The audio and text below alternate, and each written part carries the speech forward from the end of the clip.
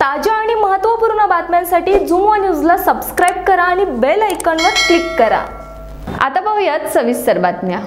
आयुष्य जगताना कोणावर कसे प्रसंग येतील हे काही सांगता येत नाही. लॉकडाऊनमध्ये अनेक दिवस उपासमारीची वेळ आलेल्या पंच्याऐंशी वर्षांच्या आजींनी नातवंडांना सांभाळण्यासाठी हातात काठी उचलली आहे आणि रस्त्यावर आपली कला सादर केली आहे. कोरोना व्हायरसचा विळखा काही गेला कमी होत नाहीये. अनेक ठिकाणी असलेल्या लॉकडाऊनच्या परिस्थितीमुळे अवस्था अजून बिकट झाली आहे वेळ कोणावरही येऊ शकते हे न विसरता जिद्दीने आपल्यामधील लाठी काठी फिरवण्याची कला रस्त्यावर चौका चौकात सादर करून नागरिकांचे मनोरंजन करून हक्काने दोन पैसे मिळवण्याचा प्रयत्न करत या आजीबाई आहेत. व्हायरल झालेल्या या व्हिडिओमध्ये नऊवारी साडी नेसलेल्या आजी करामती करत आहेत. पैशांसाठी आणि पोटाच्या खळगीसाठी त्यांना या वयातही करामती दाखवण्याची कामं करावी लागत आहेत. पण आजींची जिद्द आणि मेहनत पाहून अनेकांना त्यांचा अभिमानच वाटलाय.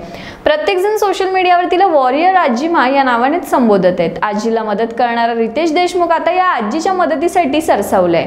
त्यांनी ट्विटरवरून आपल्या चाहत्यांना आजीचा संपर्क कोणाला कुठे होतो का विचारलंय. अवघ्या थोड्या वेळातच रितेशला आजींचा संपर्क मिळाला. आता रितेश आजीला कोणत्या पद्धतीने मदत करतोय हे पाहणं उत्सुकतेचं असणार आहे.